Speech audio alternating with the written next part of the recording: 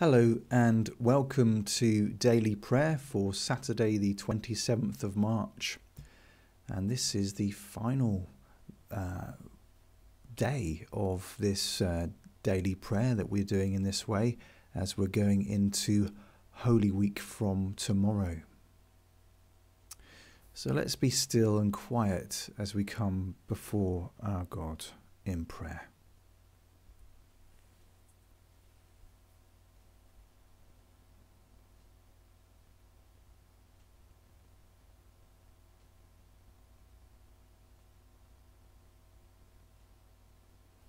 Our Father, who art in heaven, hallowed be thy name. Let's pray together. Blessed are you, Creator of all things. The heavens adore you. May the whole earth worship you. May all nations obey you. May we serve you in love and peace. Amen. If you respond with the words in bold, Come into our hearts and fill them with love. Come, Lord, and rule. Come into our minds and fill them with your peace. Come, Lord, and rule. Come into our lives and fill them with light. Come, Lord, and rule. Come into our days and fill them with glory. Come, Lord, and rule. Thy kingdom come Thy will be done on earth as it is in heaven. So let's look back on the previous 24 hours. What has been good for you? What do you need God's healing and presence and God's way forward for? Let's bring those things to mind now.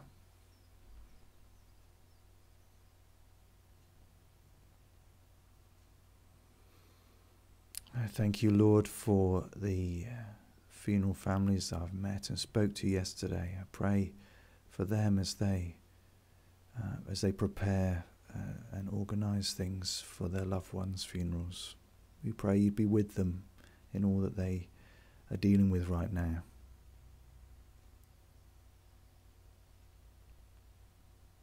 We give you thanks, Father, for good news on the coronavirus front as cases continue to fall and, and numbers of deaths fall. Lord, we praise you for those who've developed the vaccine and have organised its rollout. We we pray that uh, that would continue not just in this country but around the world. And we do lift to you those countries, especially in Europe, that we're hearing about where the cases seem to be increasing. Lord, have mercy. Lord, bring your healing. Bring uh, that vaccine to bear. Lord, in your mercy, hear our prayer. We pray that the barriers that divide us may be broken down. Lord, have mercy, that we may live in unity, peace, and concord. Lord, have mercy that we may come to mutual understanding and care. Lord, have mercy. Upon all who suffer from dissensions and quarrels, Christ, have mercy. Upon all who are torn apart by war and by violence, Christ, have mercy. Upon all who are divided in their loyalty and love, Christ, have mercy. That all who work for unity may be blessed. Lord, have mercy, that all who heal divisions may have hope. Lord, have mercy, that all who lead nations may seek peace. Lord, have mercy. Pray that you'd give us this day our daily bread. What is ahead of you today? Think of uh, those things. What do you need God's help with? What are you worried about? Let's offer that to God now, trusting in His provision.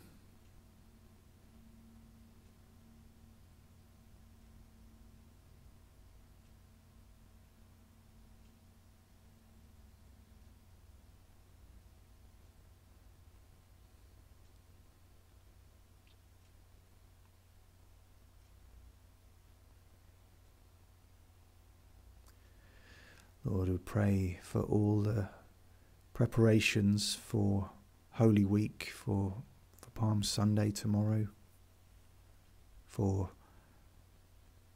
the uh, prayers that will take place every morning from the Methodist Church. Won't be the same, Lord, but we pray that you be with us nonetheless.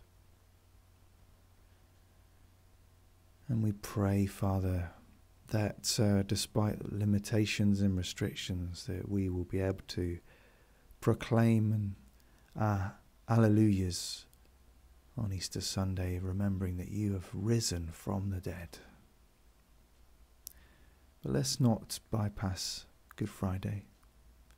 Let's give you thanks, Father, for the cross, for Jesus, for his sacrifice, his surrendering of his life freely out of love for us.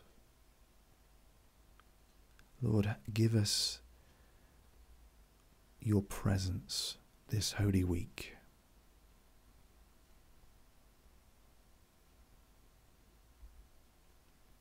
God of truth, help us to keep your law of love and to walk in ways of wisdom, that we might find true life in Jesus Christ, your Son. Amen.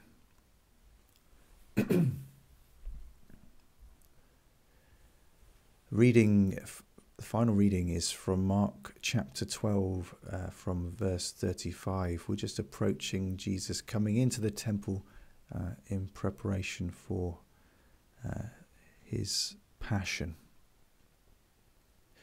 While Jesus was teaching in the temple courts, he asked, Why do the teachers of the law say that the Messiah is the son of David? David himself, speaking by the Holy Spirit, declared, the Lord said to my Lord, Sit at my right hand until I put your enemies under your feet. David himself calls him Lord. How then can he be his son?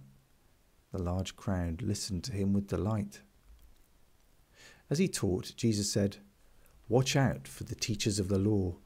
They like to walk around in flowing robes and be greeted with respect in the marketplaces and have the most important seats in the synagogues and the places of honour at banquets.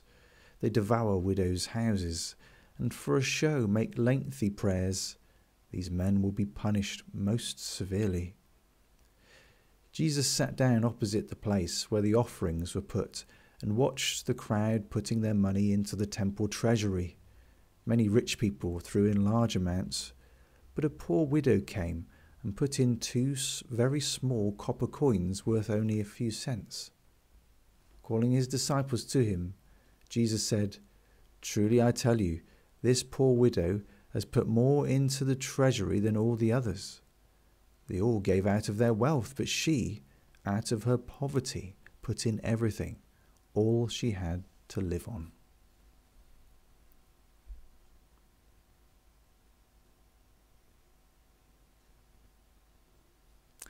Wonder if you can picture yourself in the temple courts, quite a large open space, with the temple off in some distance, surrounded by these columns. You uh, perhaps imagine seeing Jesus talking, the Pharisees in the background, and watching the woman coming with her offering.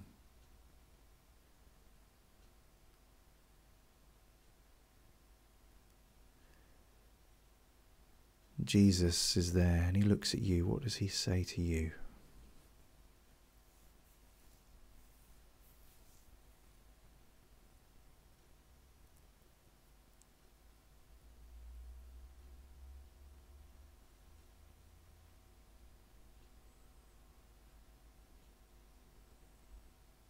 Thank you, Lord, for your passion, for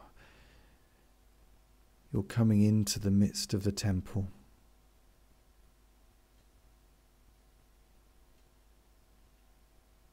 And all that that signifies and means for us. That we can now be temples of your Holy Spirit.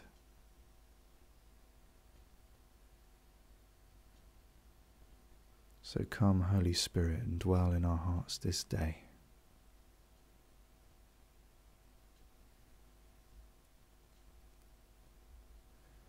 Forgive us our trespasses as we forgive those who trespass against us.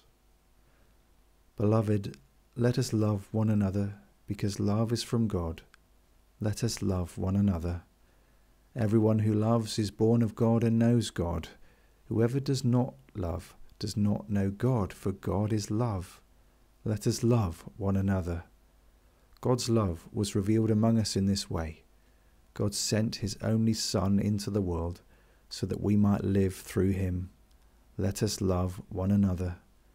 Beloved, since God loved us so much, we also ought to love one another.